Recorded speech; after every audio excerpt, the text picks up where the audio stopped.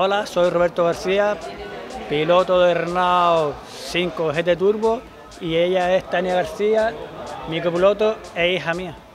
Hemos participado este año en el campeonato de montaña en la especialidad de RS media alta y hemos conseguido ganar el campeonato. Bueno, como bien decía mi padre, este año hemos ganado el campeonato de regularidad Sport de montaña Así que estamos muy contentos en un coche que bastantes alegrías nos ha dado.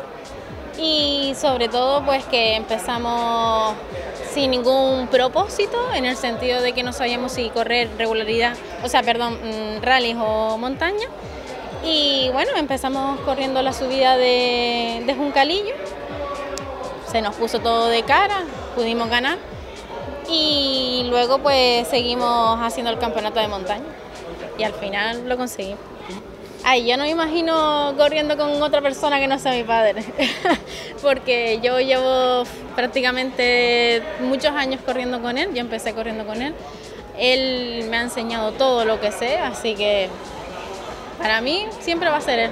Bueno, correr con mi hija ha sido el mayor orgullo que puedo tener yo como padre Empecé con ella en las clases cuando tenía primero, la primera clase que le hicimos con 10 años, tenía ya 10 años, no, era muy chica todavía, no le gustó mucho y a partir ya de los 14 años, que fue en el 2013, hasta la fecha de hoy he estado siempre sentado al lado mío. Sí, en, los primeros años que empecemos se consiguieron varios títulos, tanto provinciales como regionales. Y después ya los pasemos, desde 2015 ya corré eh, intercambiando en la misma, temporada, haciendo tanto Mm, regularidad clásica como regularidad sport. La regularidad en general la encuentro muy bien. Se ha cambiado muchas normativas a seguridad, que luego lo más lógico, viendo ya las medidas que nos están poniendo, hay que poner un poquito de, más de seguridad a los coches porque son hierros y nosotros vamos dentro. A la gente no le gusta muchas veces gastarse dinero en, en seguridad, pero yo prefiero gastar más dinero en unas barras buenas, en unos sillones buenos y, uno, y unos cinturones buenos antes que en mecánica, porque, porque la mecánica en caso de accidente no lo vale de nada, primero la, vida nuestra. Bastante competencia sí que hubo, eh, por ese lado los compañeros nos lo pusieron muy difícil. Eh, ganamos eso, un calillo, después todas las siguientes pruebas nos quedábamos segundos, éramos los segundones y luego pues en, en Moya teníamos que ganar sí o sí para poder ganar el campeonato, y así que eso nos motivó mucho más y al final se consiguió ganar Moya, que era nuestro objetivo en ese momento y la verdad que fenomenal. Ay, no, de momento no. De momento yo me quedo en el lado derecho. Yo voy muy cómoda allí, me gusta bastante y no. Él quiere que pruebe, pero no. De momento yo me quedo en el lado derecho. Eh, bueno, vamos a ver si ya esta temporada doy el salto a velocidad.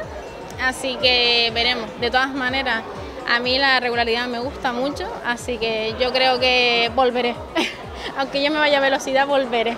Bueno, pues este campeonato que he ganado junto a mi padre lo queremos agradecer sobre todo a Restaurante Grill Costamar, también a Auto Santana, que ellos han puesto su granito de arena, y sobre todo a nuestra familia, que siempre ha estado ahí para, para nosotros, preparando todo lo que nos ha hecho falta, hasta el último momento y siempre al pie del cañón. Un beso para los que ven cronómetro cero.